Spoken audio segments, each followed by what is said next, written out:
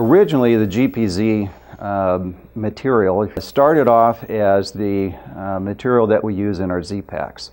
And as we got involved in uh, making uh, double-sided frictions, what we come to find out is that uh, not every clutch pack needs to have the same material.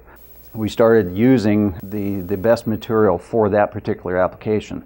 Uh, the forward clutch typically in most of the earlier transmissions like three speeds and four speeds is a statically applied clutch and so therefore uh, we find the need to have a higher static uh, material as opposed to a clutch like a 3-4 clutch or an intermediate clutch which is a dynamically applied clutch.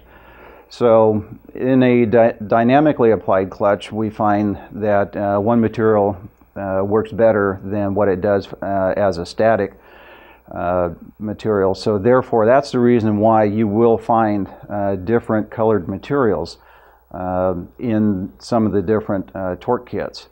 just keep in mind that color is not what creates the performance in those materials. It is the materials themselves.